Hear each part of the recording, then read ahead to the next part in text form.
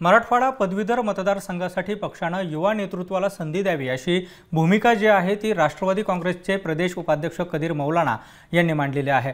विधान परिषदेचे संभाव्य उमेदवार सतीश चव्हाण यांना आपला विरोध नसल्याचं त्यांनी सांगितलेलं आहे. तसंच बकरी ईदच्या माध्यमातून धार्मिक तिढा निर्माण करू नये असं आवाहन देखील त्यांनी खासदार इम्तियाज जलील यांना केलेलं आहे. माझं म्हणणं सतीश चव्हाणांचे उमेदवारीचा विरोध नाही. किंवा शर्य सतीश चव्हाणाला विरोध नाही. माझं म्हणणं आहे की युताला संधी पाहिजे. युताला जर मराठवाड्यामध्ये संधी मिळाली, तर पार्टीचं भक्कमपणे काम आणखीन बळकट होईल आणि चांगल्या पद्धतीचं काम होईल.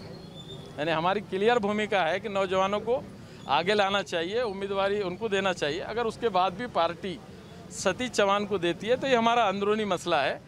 हम पार्टी के भूमिका के साथ में हैं।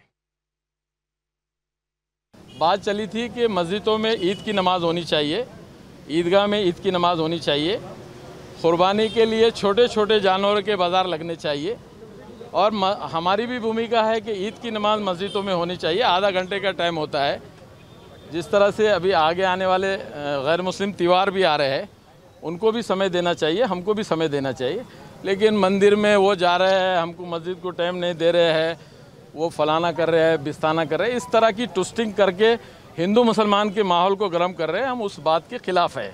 हमारी भूमिका सेकुलर भूमिका है।